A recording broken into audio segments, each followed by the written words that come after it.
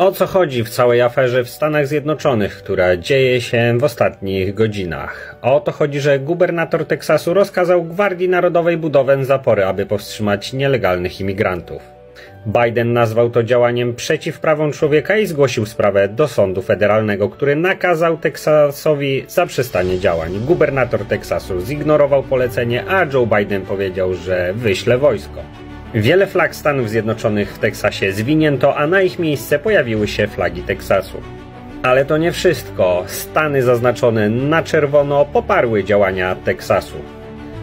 Stany zaznaczone na szaro nie poparły gubernatora Teksasu i zobaczcie, że w tych stanach rządzą politycy lewicowi. Wojsko zaczęło już transportować koleją czołgi w stronę Teksasu.